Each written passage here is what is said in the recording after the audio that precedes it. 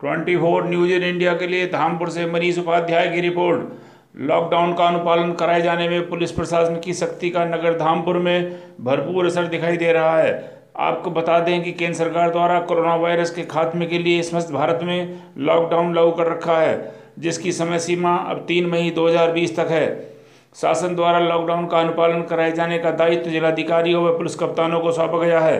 Lockdown का अनुपालन न कराए जाने की दशा में इस संबंधित जिलाधिकारी व एसपी की जवाबदेही तय की गई है, जिसका असर धामपुर नगर में देखने को मिल रहा है। उप जिलाधिकारी धामपुर धीरेन्द्र सिंह, सीओ धामपुर महावीर सिंह रजावत व शहर कोतवाल रंजन कुमार शर्मा कड़ी मेहनत के साथ नगर व ग्रामीण इलाकों पर नज़र रखे हुए हैं। प्रशासन द्वारा सख्त रुख अपनाए जाने का जनता पर असर दिखाई दे रहा है। आज सुबह नगर के मुख्य बाज़ार स्थित बालाजी मेडिकल स्टोर व अग्रवाल मेडिकल स्टोर जनता स्पष्ट रूप से सोशल डिस्टेंसिंग का पालन करती हुई नज़र आई।